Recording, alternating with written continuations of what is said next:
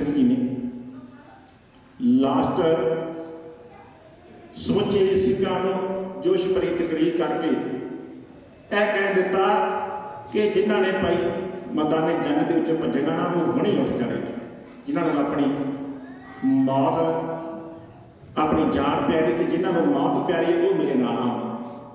ਕਰਮ ਕੋ ਆਓ। ਬਾਬਾ ਦੀਪ ਸਿੰਘ ਦਾ ਇਤਿਹਾਸ ਅੱਗੇ ਕਾਫੀ ਹੈ। ਕਿਸ ਤਰ੍ਹਾਂ ਸੀਸ ਤਲੀ ਤੇ ਰੱਖ ਕੇ ਬਾਬਾ ਦੀਪ ਸਿੰਘ ਨੇ 18 ਸੇਰ ਦਾ ਖੰਡਾ ਵਾਇਆ ਉਹ ਸੀਨੇ 'ਚ ਪੇਸ਼ ਕਰਨਾ ਸੀ, ਪਰ ਉਤਰ ਸਾਡਾ ਸਮਾਂ ਹੋ ਗਿਆ।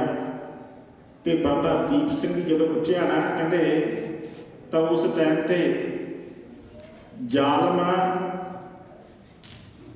ਆਪਣੇ ਹਥਿਆਰ ਛੱਡ ਕੇ ਤੇ ਭੱਜ ਗਏ ਜਦੋਂ ਲਾਹੌਰ ਪਹੁੰਚਿਆ, ਤੇ ਉਹਨਾਂ ਨੇ ਪੁੱਛਣਾ, ਕੀਤਾ ਹੈ ਸੂਬੇਦਾਰਾਂ ਨੇ, ਵੀ ਤੁਸੀਂ ਕਦੋਂ ਭੱਜ ਗਏ ਏ?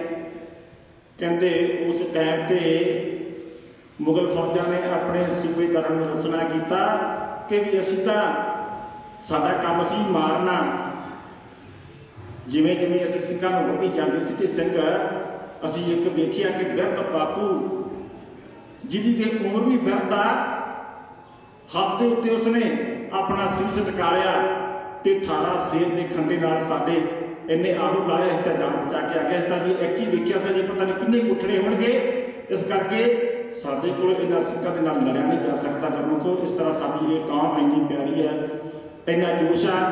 ਮੈਂ ਸਮੁੱਚਿਆ ਹੀ ਸੰਗਤਾਂ ਨੂੰ ਬੇਨਤੀ ਕਰਾਂ ਕਿ ਉਹ ਖੰਡੇ ਬੱਟੇ ਦਾ ਅੰਮ੍ਰਿਤ ਜਿਹਨਾਂ ਨੇ ਨਹੀਂ ਛਕਿਆ ਗੁਰਮਖੋ, ਖੰਡੇ ਬੱਟੇ ਦਾ ਅੰਮ੍ਰਿਤ ਪਾਨ ਕਰਕੇ ਦੇ ਸਿੰਘ ਸਜ ਜਾਓ। ਕਿਉਂਕਿ ਸਾਡੀ ਸਿੱਖੀ ਬੜੀ ਮਹਿੰਗੀ ਹੈ। ਆਓ ਮੈਂ ਇੰਨੀਆਂ ਬੇਨਤੀ ਕਰਦਾ ਖਿਮਾ ਨਾ ਜਾਇਆ ਕਿ ਤੇ ਮੈਂ ਟੁੱਟੇ ਹੋ ਗਿਆ। ਮੈਂ ਖਿਮਾ ਮੰਗਦਾ ਹਾਂ ਅਤੇ ਆਜ ਬੋਲਦੇ ਆ ਬਹੁਤ ਸਾਰੀਆਂ ਟੁੱਟੀਆਂ ਗਲਤੀਆਂ ਰਹਿ ਜਾਂਦੀਆਂ ਨੇ। ਸਾਧ ਸੰਗਤ ਗੁਰੂ ਸਾਹਿਬ ਬਖਸ਼ਣਹਾਰਾ ਬਖਸ਼ਦੇ ਦੇਣਾ ਜੀ। ਬੁਲਾਓ ਫਤਿਹ ਤੇ ਪਾਓ ਫਤਿਹ ਗੱਜ ਕੇ ਆਖੋ ਜੀ, ਵਾਹਿਗੁਰੂ ਜੀ ਕਾ ਖਾਲਸਾ, ਵਾਹਿਗੁਰੂ ਜੀ ਕੀ ਫਤਿਹ।